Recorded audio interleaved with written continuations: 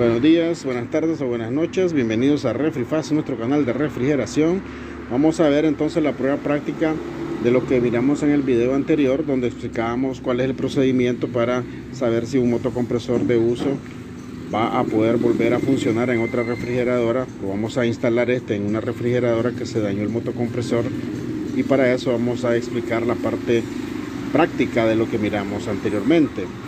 Vamos a conectarlo pero antes de conectarlo quería mencionarles que este cablecito verde que ustedes ven acá ese es el polo a tierra de lo que sería y ahí conectarlo en la carcasa del motocompresor que es acá. Pero como este es un cable de prueba no necesitamos el tierra. Entonces vamos a conectarlo para ver cuántos segundos dura en llegar a las 500 PSI vamos a ver la pinza amperométrica y a conectarlo en este momento ahí miramos el amperaje de arranque y el de marcha. Ahí estamos viendo ambas cosas ambas pruebas y ahí va a las 500 psi rápidamente. Lo vamos a desconectar llegando a 500 y como miramos se cumple la primera prueba y la principal evidentemente porque con esta prueba de 500 psi está pasadito con esta prueba de 500 psi en unos 10 o 15 segundos, dependiendo de la capacidad. En este caso, un compresor de un séptimo de HP, él va a durar entre 12 a 15 segundos probablemente. Si ustedes miden con un cronómetro, eso nos va a, dar, va a marcar ese tiempo. Entonces vimos que llegó rápidamente las 500 PSI. Ya tenemos garantizado la congelación, el frío, la temperatura baja. Va a funcionar muy bien. Ahora veamos la otra parte que es retener la compresión. Durante hemos estado viendo la prueba en estos dos minutos, hemos visto que la aguja no se ha movido prácticamente para nada. Esa es otra parte principal de la prueba. Recordemos que nada sirve si llega a 500 PSI en 10 segundos y se regresa inmediatamente. No sirve porque nos va a trabajar unos días y se nos va a fregar, se nos va a dañar, se nos va a trancar, a trabar, se nos va a descompresionar, cualquier cosa le puede suceder, por lo tanto no pasaría la prueba, en este caso sí, porque comprime 500 PSI, retiene la compresión y ahora vamos a ver si arranca con carga con 50 PSI, vamos a bajar los 50, ahí, vamos a probarlo, lo vamos a conectar nuevamente y miremos si arranca bien ahí lo miramos arrancó perfectamente bien así que pasa la otra prueba. La prueba de arranque se le llama quiere decir que aquí con esta prueba va a arrancar con la carga de gas refrigerante que vaya a tener la nevera carga completa.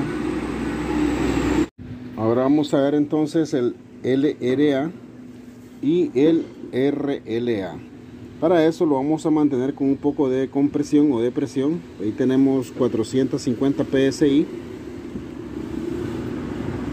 Vamos ahora a conectarlo para ver el amperaje de arranque y el amperaje de marcha o trabajo al mismo tiempo, solamente con una pequeña diferencia de un segundo.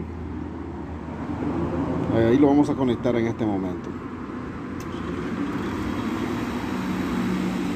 Ahí pudimos apreciar el amperaje de arranque LRA y el amperaje de marcha o trabajo RLA. Ahora vamos a probarlo aprovechando cuando vaya por 150 PSI, que es la presión de trabajo del R134. Vamos a ver qué amperaje nos va a consumir aproximadamente.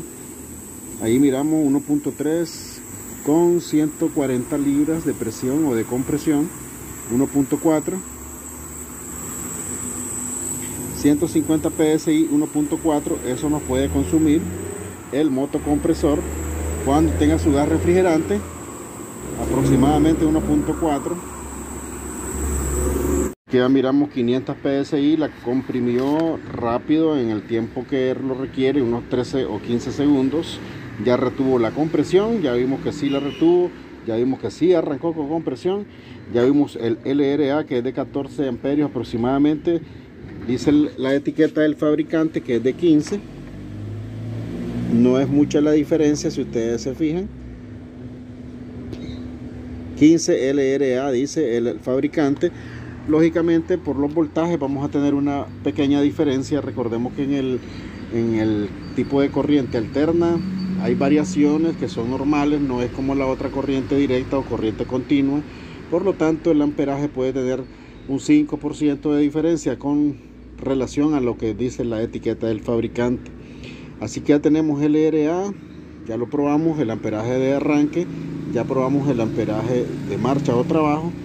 Solamente vamos a probar que no electriza y para eso vamos a hacer la prueba.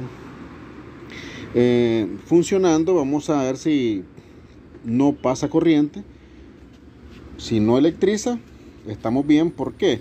porque a veces puede electrizar por inducción esto significa y se lo voy a explicar acá con un ejemplo claro. Les voy a mostrar de, otra forma que lo comprendamos más rápido y mejor.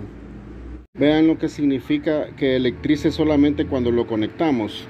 Cuando conectamos la nevera, electriza, pero si lo probamos con el, con el ómetro o con la pinza amperométrica en la escala de ómetro o continuidad, de repente no nos va a marcar.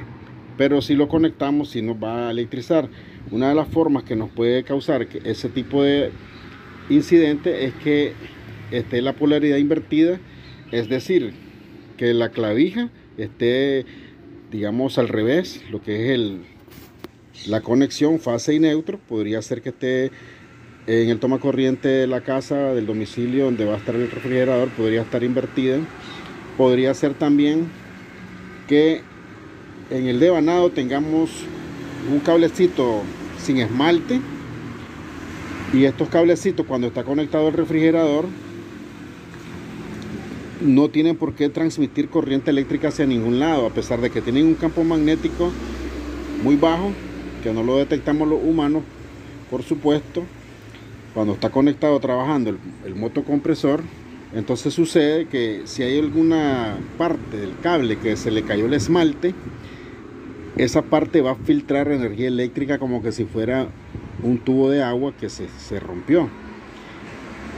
Y puede llegar a hacer contacto con el núcleo.